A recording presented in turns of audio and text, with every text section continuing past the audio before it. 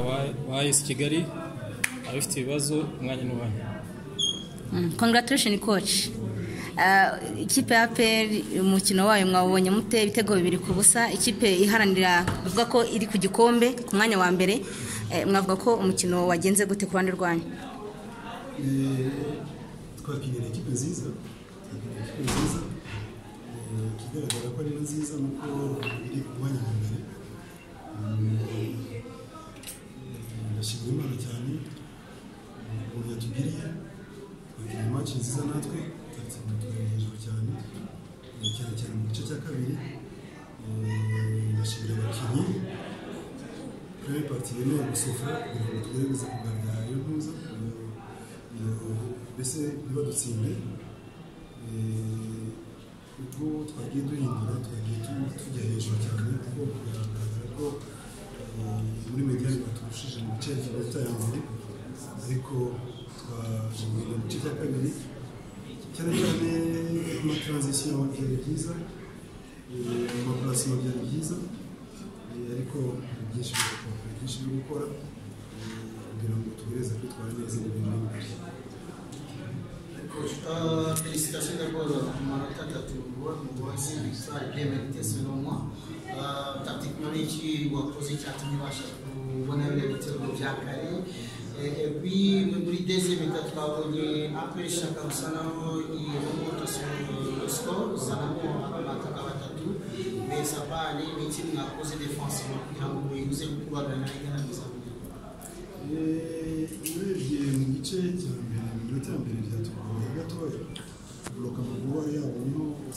wasangaga bari hejuru ku buryo wasangaga claude rero bari bongereza surnombre muri muri offensive zabo byasabaga ko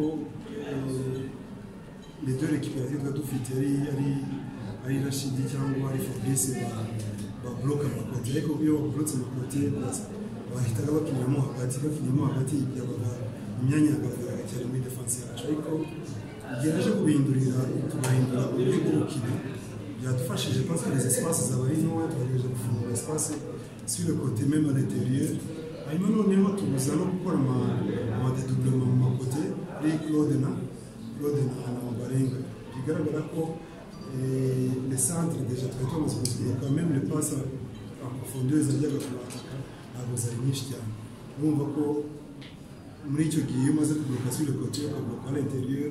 Byashobora kutugira impuzime icya kabiri ni uko eh, byasabaga ko niturekipera abantu twihuta.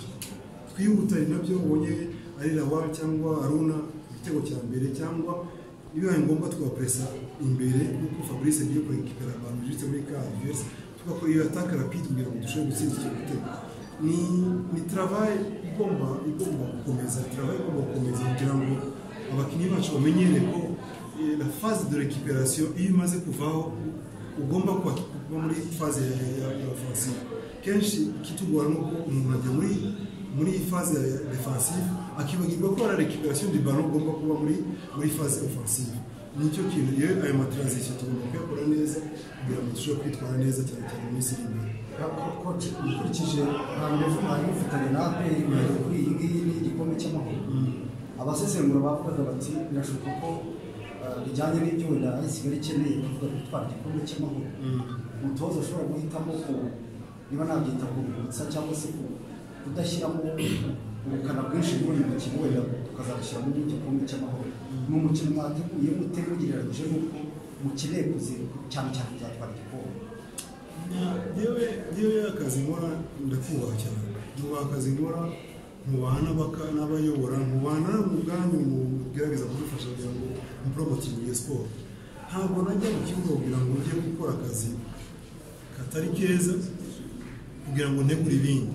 Yewe iyo ngeze muri match nkina match nk'uko na yo ubwiye ubushize dutsinzwe tugiye dutsinze turakomeza. Ntabwo njya muri match kugira ngo ndabizi ko na match ya finale izaba ikomeye cyane kubera ko bazaza bashaka gusa n'abihimura kuri match twakina uno munsi. Ariko ni tuzaba turimo izo tuzaba turimo tuziyadapta muri izo situation ku buryo tugerageza gushaka icyo gikombe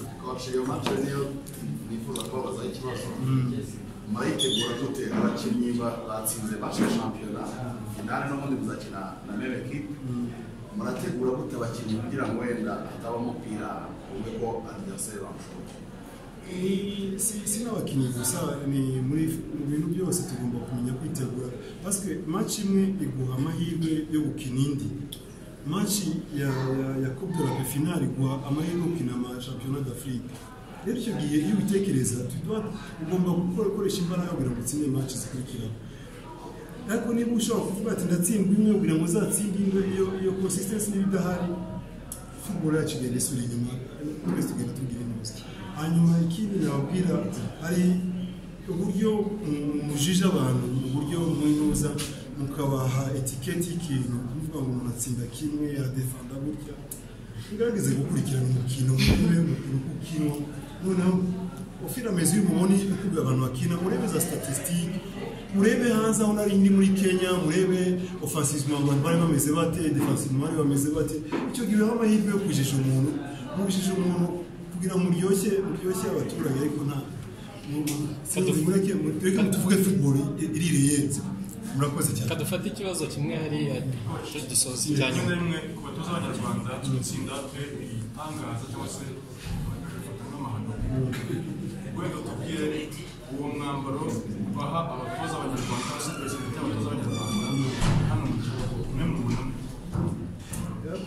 ikipe yoroshye ushobora gutsinda nk'uko nawe watsinda ahubwo icyangombwa ni uko udatsinda yaperi parce que yaperi ni tuwa po ifu gutsinda n'izindi kuko ushobora gutsinda yaperi ugatsindwa ugatsindwa n'amagare mbese ubu byaba bimaze iki gutsinda yaperi kandi utashobora gutsinda n'amafoto yewe nibaza ko mureka muri tuvuge football iriye mureke niba ukina na aperi ukine na yo ushaka kuyitsinda nigutsinda ubyemere utahe noneho ubitegure nk'uko navuze ati ngewe ndiga iyo natsinzwe ndagenda nkiga ni iki bandushije ibyo bateguye byiza kurusha ni ibihe? Uburyo bakinnye no bwiza nkagenda niga ku buryo niyo adaptamanza ariko na si- si- singiye kujija bagenzi banjye.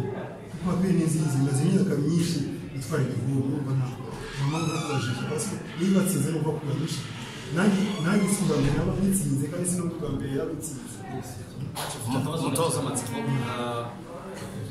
Sorry Ah, ujya ujya kwara igicuri n'umwe abanza shuwa wakoze y'abamediyateri batatu. Ah, wa- wagendeye ku ki? Kuko hari abantu batekerezaga umukinnyi nka sefu kubanza hanze agiye gukina n'ikipe yavuyemo kandi dusanzwe tubona match nyinshi akunda kubanzamo iyo ari muzima. Iyo shuwa wakoze itarimo sefu wa- wagendeye ku gikuba n'igihe twabonye nyuma y'iminota makumyabiri tubona uramuka kujya kwishyushya. Akandi match irangiye tubonye nka wari asa nk'umuntu uri gushwana ameze nk'umuntu uri hari ikintu byose atishimiye ni pasi shabarara yamwimye hari ibyo wenda wamubwiye atishimiye ni utwo tubazo tubibaza Okay, ikibazo cya mbere ninde washoboye kureba imyitozo ya Senegal neza washoboye kureba imyitozo ya Senegal